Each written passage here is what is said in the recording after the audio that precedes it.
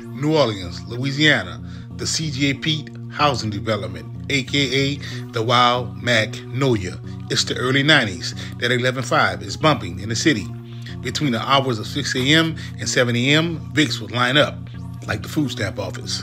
Hustlers would bag up 20K a day of that dog food. The constant flow of customers would continue until the work was all gone.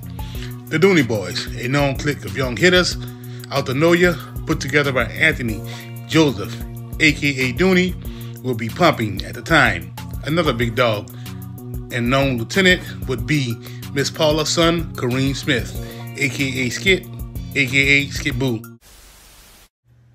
An unwritten law that was put in place by Dougaloo was if you claim to know ya, you need an address. Boo grew up in a Toledano court, 2626 Toledano. Coming up on the old side where it was more laid back, Skit would eventually migrate to the new side of the Nolia at the age of 15. The new side was much wilder and faster than the old side.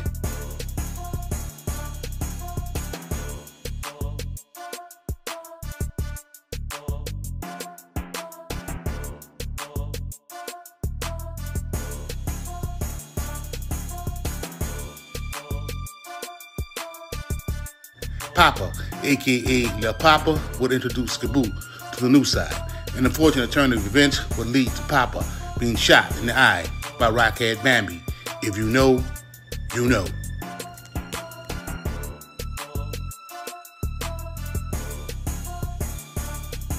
Skiboo was already off the porch, but would really be in the streets once he hit the new side. Red, Dougaloo, Pissy Corey, and Law would be Skit's crew. Skit would eventually start rocking with Byron, aka Busy, Lele, Claudie B, Ron Moosh, who kept that Mac 11 on his lap, in his wheelchair, and Eric Maurice. Willow Street has been known for gangsters ever since OG Roy Lee. Six Court for show, the circle was notoriously known as Death Row for all the grimy shit that went down. Skiboo would link up with Dooney in 93. Their relationship would grow tighter after Dooney's release in 99. After failed promises from big timers out to 17, Skit, Dooney, and Richard Porter, aka WAP, would put their money together and go on a 90 day run. WAP, Dooney, Skiboo, those three hooked up. So they took over the project. Well, let me say this, not took over the project. I don't know about go getting up. So what you mean took over? They um, took took over we left off on our side, new side. From there, they would be on their feet, bringing in 10 to 15 racks a day, which would eventually turn into 20 racks, sometimes 40 racks a day. Skit would take it upon himself to be in the lab, bagging up.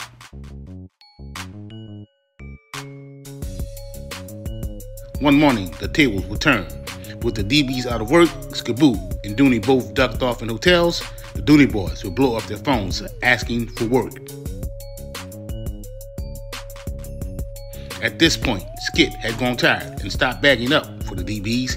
He would pick up some work from Kiki and drop it off to the Dooney boys.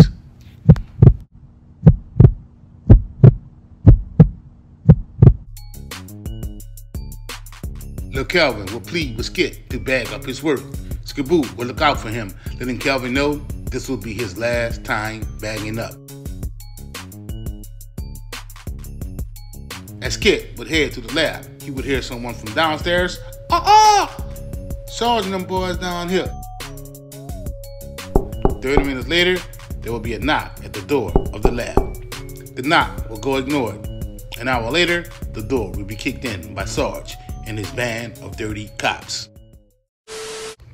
If you don't know who Sarge is, he's a dirty cop on the New Orleans Police Department who was known for putting fake charges on dudes, planting dope on dudes, and setting dudes up.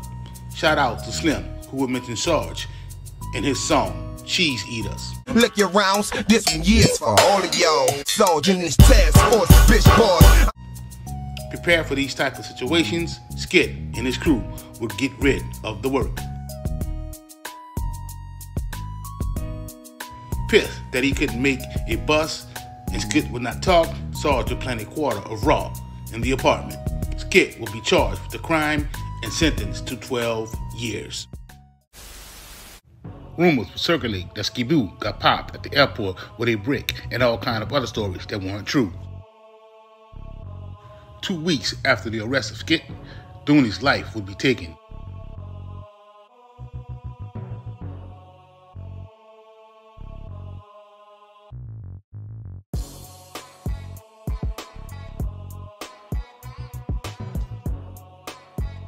It is alleged that the crime was committed by one of the young hitters out to know you.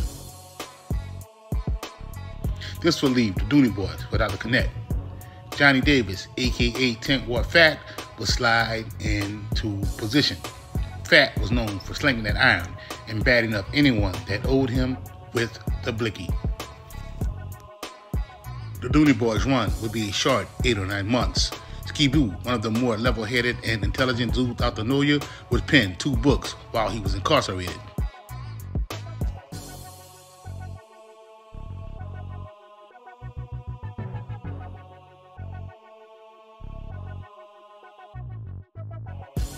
Chain Reaction, Skit's first book, which is a story of love, lust, confusion, and betrayal.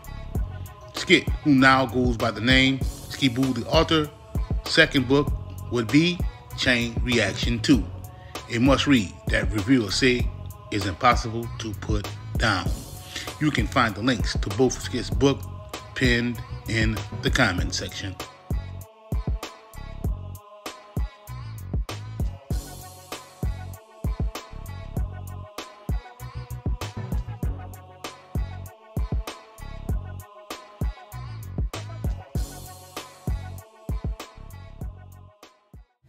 Now a successful author and no longer in the streets, Ski-Boo has moved on to more positive outlooks on life.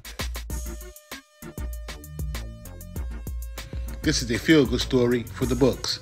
Maybe one day Skit will pen a book on his life in the streets and how he made it out the game alive.